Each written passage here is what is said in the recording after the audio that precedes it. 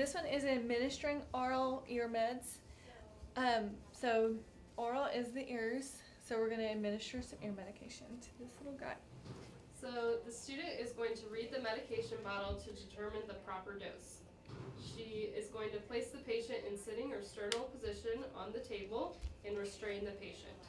She's going to hold the pinna of the ear upright at a 90 degree angle and slightly back. She's going to count each drop of medication during administration, and she does not touch the ear with the medication dispenser. She's going to identify the ear canal by placing one finger in front of the ear and one finger behind the ear and she is going to massage the base of the ear canal against the head in a circular motion. She is going to massage for five seconds and listen for a swishing sound. The student is now going to check for leach solution anywhere, and she will use clean cotton swab or gauze to clean up.